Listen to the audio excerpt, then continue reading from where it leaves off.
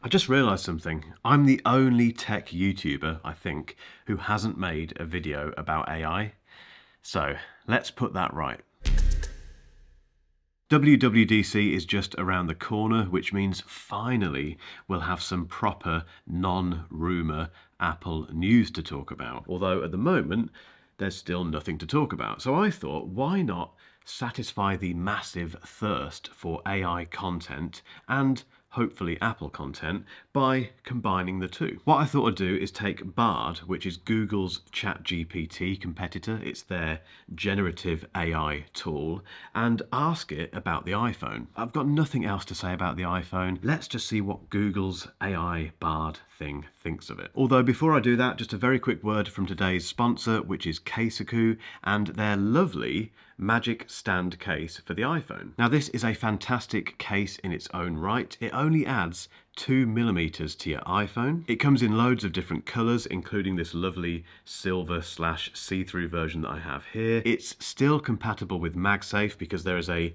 48 piece magnet structure built into this, but there's also this. And this turns the case into a stand, which you can either place horizontally if you're watching stuff during your lunch break, or vertically if you're pretending to work out on the floor of your studio. The stand part of this, so this little mechanism here, is rated to 30,000 openings. So you've got no worries about durability, and it also goes from 40 to 120 degrees. As I always say, this is one of those accessories that you don't know you need until you try it. And the best news is I've worked with Casekoo to get you a 10% discount, and they take Klarna now as a payment method. So to find out more about the Magic Stand case for the iPhone, just click that link.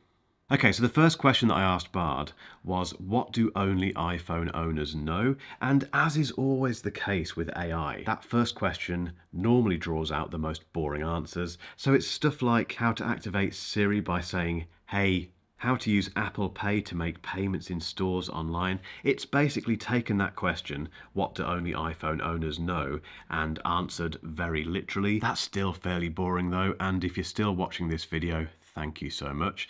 So instead, I asked, give me 10 things only iPhone owners know about the iPhone, and make it tongue-in-cheek and amusing. Now I've not read the responses here, so let's just react straight away to them. Number one, you can use the Force Touch feature to get a preview of links, images, and other items on the screen, but only if you're not wearing gloves. I know ChatGPT is only aware of stuff up until about 1975 or something, but as far as Bard is concerned, I thought it would be a little bit more up to speed with what's going on because Force Touch doesn't exist anymore. More specifically, it doesn't exist on the latest iPhones. I can't remember when they abandoned Force Touch. Let me know in the comments if you know the answer to that question.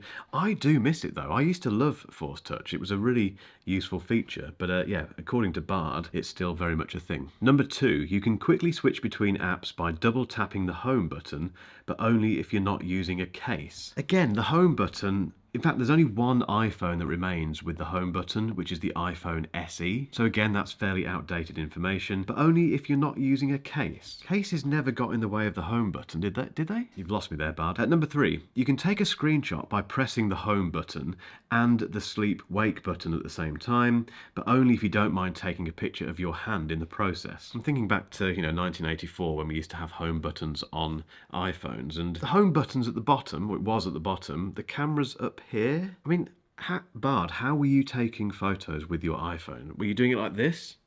Number four, you can activate Siri by saying, hey, or pressing the home button, but only if you don't mind waking up the entire household in the process. You don't have to shout, hey, that loud. Or maybe this is Google poking fun at Siri. And to be completely fair, I agree. If you've been following my journey with the HomePod and Siri at home, you'll know that I'm not particularly impressed. So I think Bard has a point here. Do I shout at Siri at home? Yeah, we do. We shout at Siri quite a lot. So it would wake up the entire household just to get it working. Yeah. Number five, you can use Apple Pay to make payments in store and online, but only if you're not afraid of being judged by the cashier. Wow. So we've had Apple Pay and contactless payments in the UK for a long time. It's been second nature for, for ages, really. So I've never felt judged by the cashier when using my phone or my Apple Watch to, to pay for stuff. I have cracked out the occasional joke of it's just like free money, isn't it?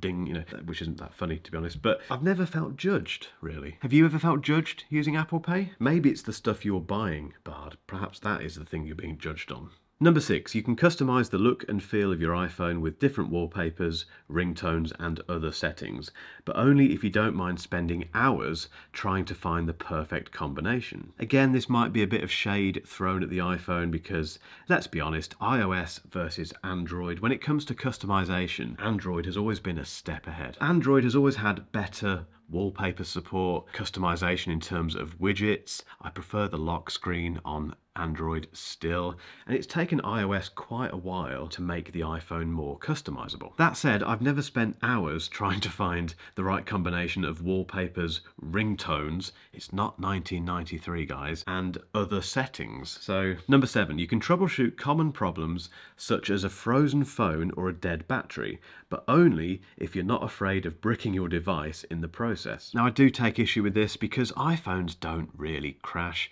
When was the last time your iPhone froze? And just to add some balance to that, I can't remember the last time an Android phone froze on me either. As for troubleshooting a dead battery, you just plug it in. Number eight, you can get the most out of your iPhone by using all of its features and apps, but only if you have a lot of time and patience.